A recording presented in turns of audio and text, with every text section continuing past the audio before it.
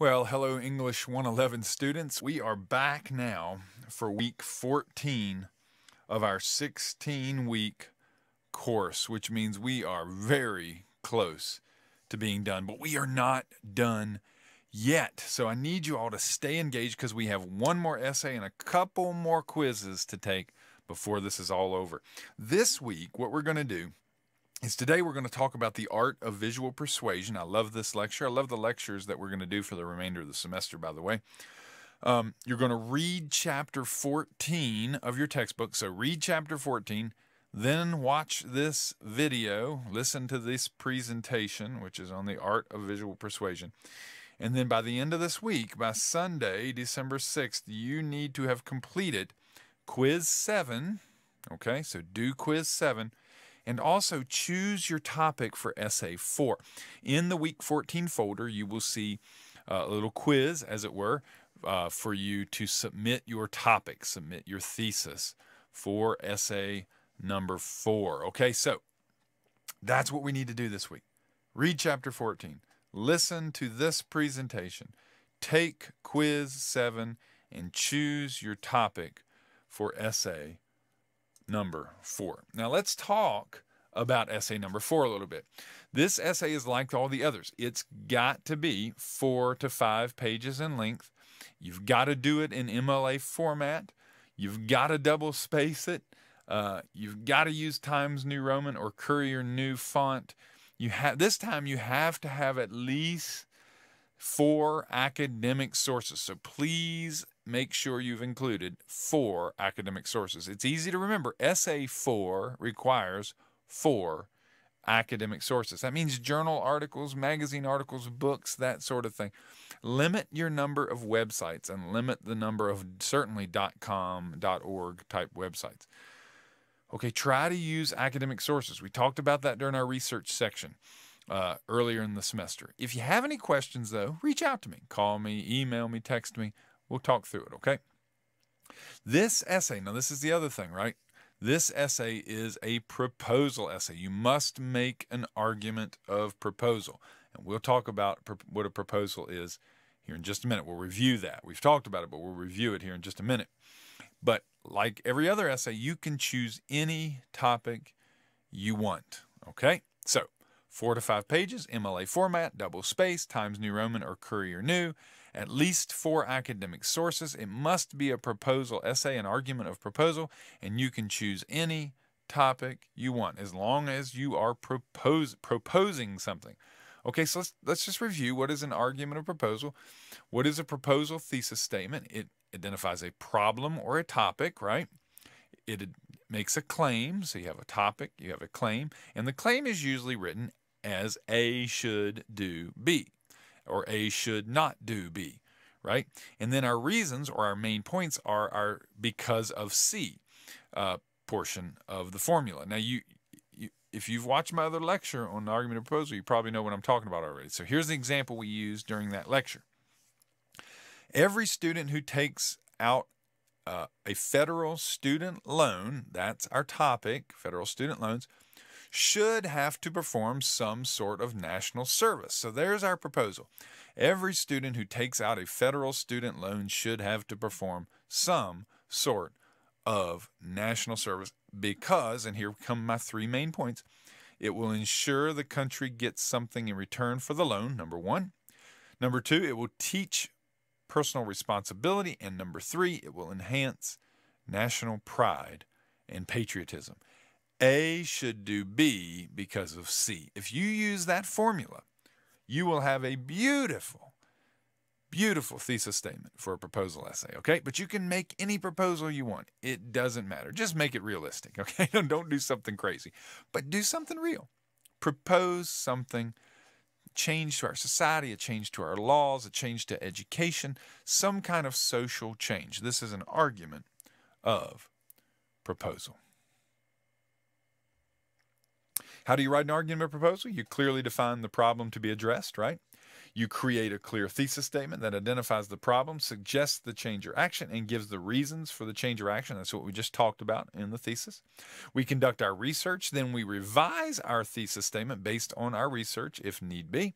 We develop our main points, which should be a part of our thesis statement, and then we write the proposal. It's that easy, right? It's that easy. If you get the thesis statement right, it's almost that easy.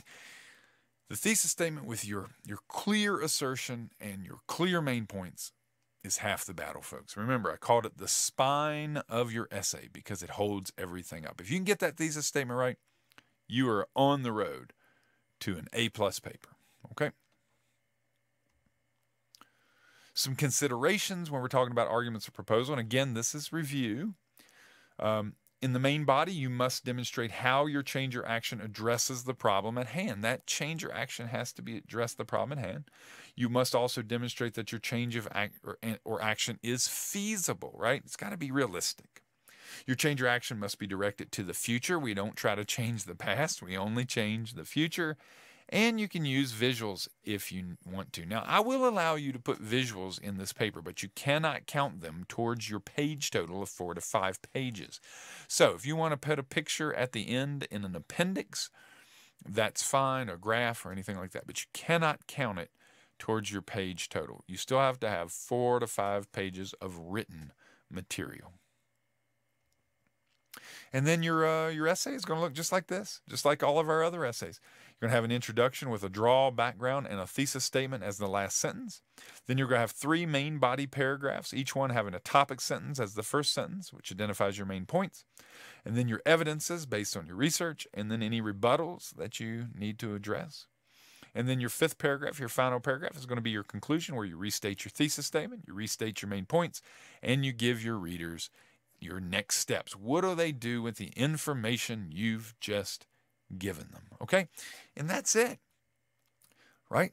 That's it. That's how we do a proposal essay. If you have any questions on that, maybe you can stop this recording, go back and review what I've said again, or you can text me, email me, uh, call me. Let's get it right, right? If you have any questions, let me know.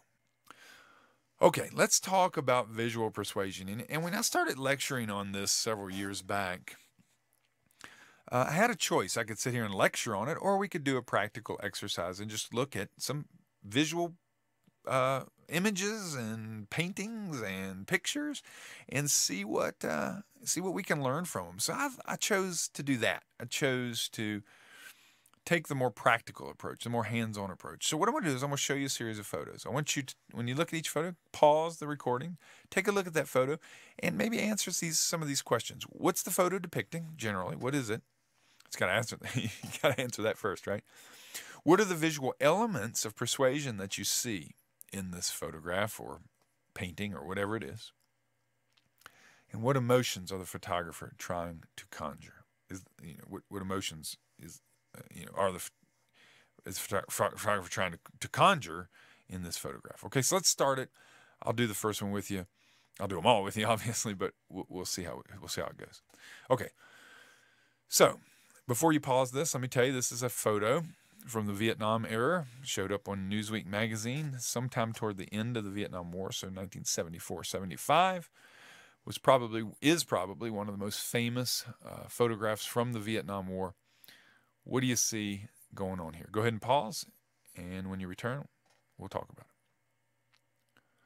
Okay, so what are we seeing here generally? Again, I told you it's Vietnam War. We see some kids running away from what looks like uh, probably a napalm, a bomb attack in the in the in the background there. So, what are some of the things that we're seeing? What persuades us in this photo? What are we seeing that gets our emotions stirred up and may persuade us, right? Encourage us cause us to make a change, to take action in some way. Uh, so you're obviously not here with me in this room that I'm in right now, so I'm going to have to kind of lead the charge on this. But uh, but as I'm talking, go ahead and think about the things that, that you're thinking about and how do they align with what I'm saying. Uh, first of all, you know this photo is very stark, it's black and white. Um, it's stark in the sense that you have adults versus children, the adult soldiers, and the young children, uh, the indigenous children there, Vietnamese children. Um, you have the soldiers who are dressed in dark colors, olive drab, dark green, and the children are dressed in light colors. You have the soldiers who are well equipped. They have their, their rifles, they have their, their gear, their helmets, their military clothing.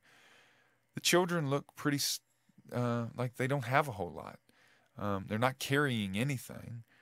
And the one girl, obviously, which makes this a very pointed picture, is is naked. She doesn't have any clothing on because presumably the clothing was maybe burned off of her. I, I don't know. I don't know why the girl has no clothing. Um, but very stark, isn't it? The soldiers, uh, if you look at their faces, you can't really see their faces, can you? Um, but they don't look like they're very emotional. It looks like it's another day in the office for them. But the children, most of the children have looks of fear on their faces. The soldiers are not, uh, you know, you got so, one soldier looking back, one child looking back, but generally, um, nobody really is concerned about the black smoke behind them. And so this is just, this photo conjures up so many emotions, and which is why it was such a persuasive photo uh, from the Vietnam era and why it ended up in the AP and why it ended up on Newsweek magazine. Okay, is this a persuasive photograph? You bet it is. Did it cause a lot of people to stop and think about the horrors of war? You bet it did. And therefore, it encouraged a lot of people to end the war, to get out of Vietnam, to stop the bloodshed. And it made it a very, very powerful poem uh, poem, photo. Okay? All right. Okay, go ahead and pause this. All right, we're back. Um, what do we see here? Well, this is from the Apollo 11 moon landing. Uh, this was a picture taken by Neil Armstrong, and the picture is of Buzz Aldrin. Um, we know this because uh, Neil Armstrong was the only one with a black and white camera he had it attached to the front of his suit. So most of the photographs that were taken from the Apollo 11, uh, who were ta- the, virtually all of the photographs that were taken from by the astronauts on the Apollo 11 moon landing were taken by Neil Armstrong. Um, and so we know this is of Buzz Aldrin. Um, what are some of the characteristics of this that make it emotional, that make it persuasive? Well, first of all, again, starkness. You've got the drab, dark gray, black background, and then you've got the white astronaut. So, this idea of contrast of dark and light. Um, you've got um, a very stark, lifeless background. The moon is dead, right? And a very sentient life form in the form of the astronaut right there. So, there's a contrast there. Um, you've got the astronaut, if you notice on his left arm, so on your right hand side, is the American flag. The astronaut's arm is turned in such a way that we can see that American flag pretty clearly. And what does that say? It says, hey, Americans, we were the first to land on the moon, right? This life form that's standing on this lifeless planet, our moon, um, is an American, is an United States of America astronaut. The red, white, and blue of the suit stands out, of course, in the red, white, and blue of the flag. Um, just so many things make this a memorable photograph. In the visor, you can see the reflection of Neil Armstrong. Actually, you can see the reflection of the astronaut taking the picture. You can see the astronaut of the lunar, uh, excuse me, the reflection of the lunar excursion module, the uh, the LEM, L-E-M. Um, so this is a beautiful photo. Brings out a lot of emotions, a lot of pride for Americans and therefore was a very famous photo during the and after the Apollo uh, moon landing. So I, I, don't know what magazines this ended up in, but this this photo is very popular. I've seen it a lot over the years. Um, very powerful because of some of the elements that we just talked about. Okay, look at this photo and answer the three questions that we talked about before. And uh, hit play again when you're ready. Okay, what is this? Well, I don't know what game this is. I'm sure maybe somebody, somebody, one of you knows, but I don't know what game it is. But I do know this: that is Babe Ruth, the famous Babe Ruth, because he, he's wearing the Yankee pinstripes and the number three. And what's so captivating about this uh, photo is, is I do know this: it's at the end of his career. I don't know if this is the last game he played or what it is, but he is older here. And some of the things that we see that bring that and drive that home are the fact that he's look how he's leaning on his bat. It's almost like he's using it as a cane. The other things that I see here are look at you see the opposing team along the first baseline there, but and they're all together shoulder to shoulder, but you see Babe Ruth is standing alone. Isn't that crazy? Standing alone, almost like he's a giant, right? And he, we see his giantness, as it were, because the photographer is taking this picture from a low angle. In other words, the photographer is probably on his knee, like the other photographers on the first baseline. See how they're on their knees? This photographer's on his knee, shooting up at an up angle at Babe Ruth, which makes him look even bigger. So you've got this idea of, of this larger than life figure. The stands are full of fans. Uh, they're all here to presumably to see the great king of baseball, Babe Ruth, the great and awesome uh, titan of SWAT. However, isn't it interesting that we don't see his face? And I always ask my students, why don't we see his face? Why didn't the photographers that were taking the picture on the first baseline, they're obviously shooting at Babe Ruth, why didn't those pictures not make it into history? Because this is a very famous baseball history photograph. Why this one? And the answer that I always come to, no matter how many times I look at this picture, is that if we saw his face, we'd see the old wrinkled Babe Ruth. But when we look at him from behind, we see the pinstripes and the number three, the giant of a man. We don't see the old man, we see the icon. Isn't that amazing? And so, for all of those reasons, this photograph is iconic and beautiful and stirs the emotions. As a baseball fan myself, I love this photo. I'd like to say that I have it framed and hanging on my wall, but I do not. I would love to have it framed and hanging on my wall. Um, it's a beautiful, beautiful photo, and it has so many elements that make it persuasive. Everybody knows this one, right? So let's pause, think about the three questions, and come back when you're ready. Okay, this is the great Mona Lisa, painted by Leonardo da Vinci. Um, I'm not going to spend a lot of time on this one, but some of the things that have captivated historians over the years the use of color, right? There's a lot of color, color contrast. When this was first painted, the colors would have been more vibrant, um, but nonetheless, there is a lot of color contrast. Um, this is a, uh, matter what your um, opinion of the beauty of Mona Lisa is. In her day, that she was considered, would have been considered the height of a beautiful woman. And so you have a beautiful woman here, uh, beautiful color contrasts. Um, you've got a neat and interesting background, right? Uh, looks like kind of a lake and then a, uh, like a, a, roadway there off her right shoulder. Uh, kind of a stark landscape up to the river or lake, whatever that is. So, an interesting and intriguing background. Don't know much about that. But here's the big question about Mona Lisa Is she smiling? right? Isn't that the big question? Because if you look at it, it looks like she's smiling, or is she? And so a lot of historians have asked that question. Also, one of the intriguing things about Mona Lisa, and you can actually do this if you want to, move around. Move down low, move up high, move to the right, move to the left. It always looks like she's looking at you, no matter where you are in the room.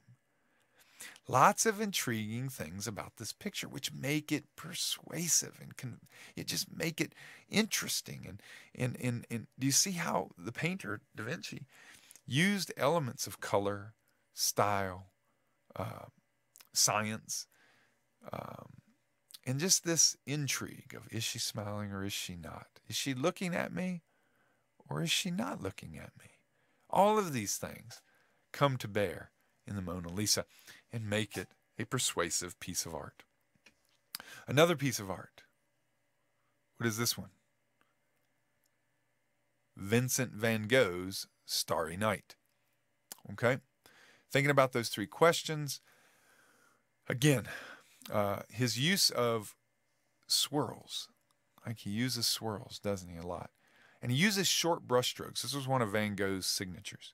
He uses these short brushstrokes. If you get up close to Starry Night, and I've seen this in person uh, when I was in uh, in Amsterdam. When you get up close, uh, the brushstrokes are really short, and he uses a lot of swirls.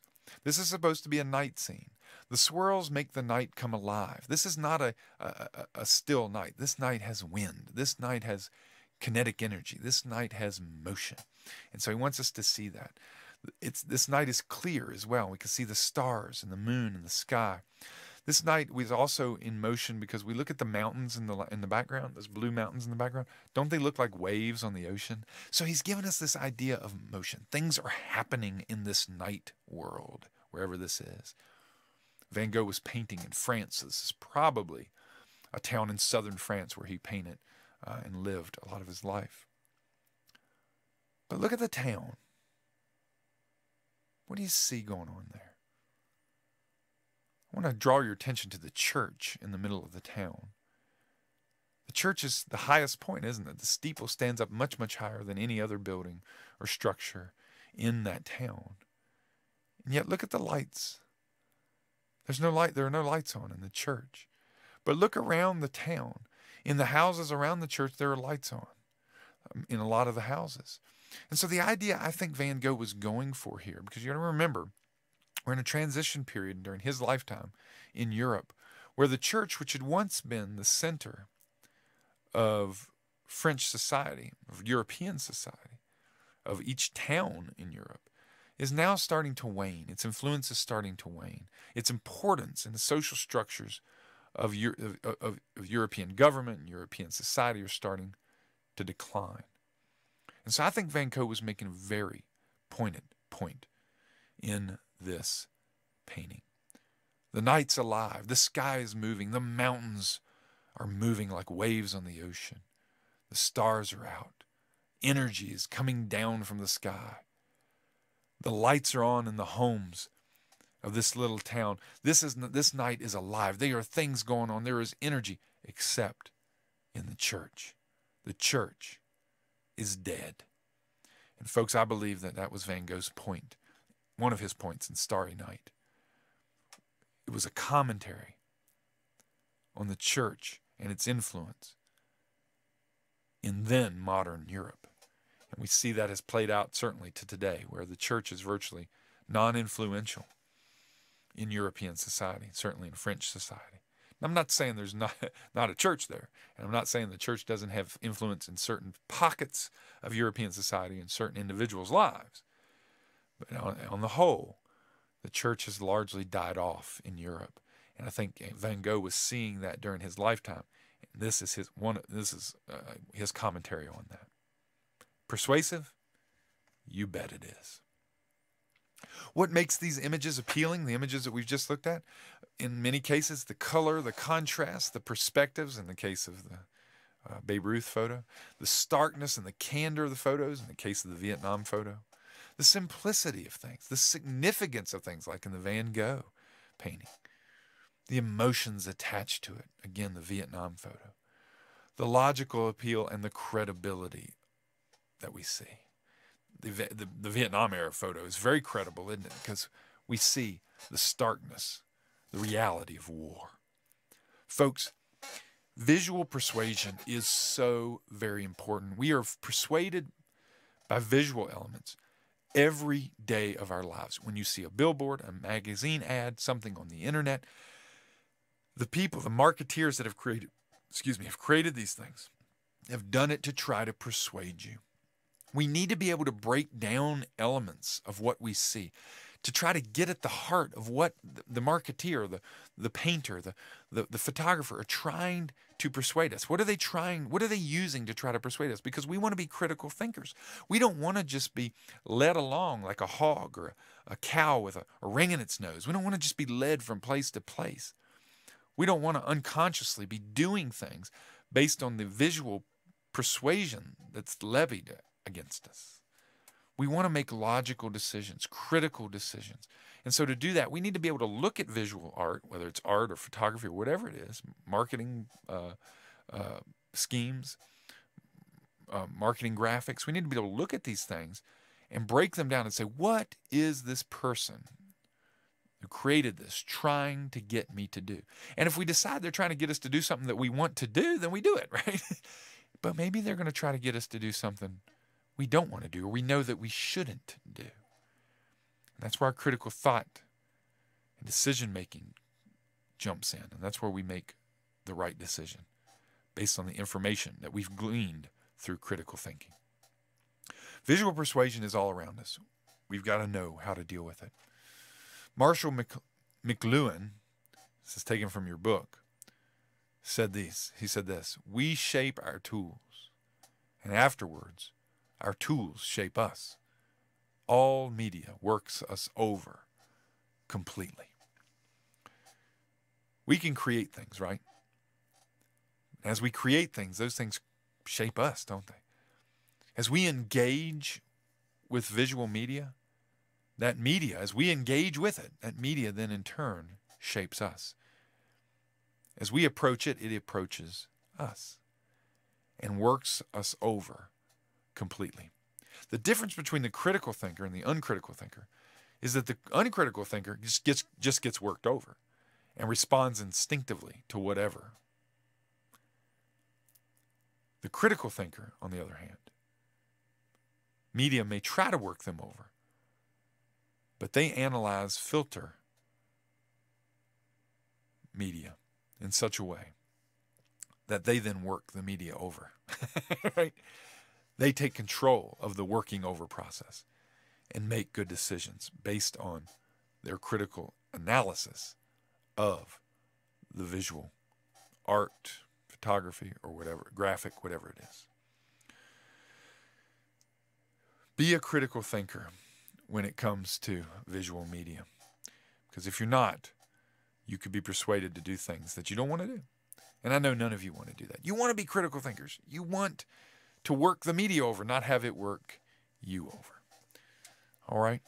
All right. So that's our lecture for today, about, about 30 minutes. Again, I want to reiterate what you need to do this week is read chapter 14, listen to this presentation, which you've just done, uh, complete quiz number seven, and choose your topic by clicking on the link in the week 14 folder. Okay? Got to do all these things, get them done, and uh, keep driving on this semester. We don't want to back off now. Have a great week. If you need anything, let me know. See you later.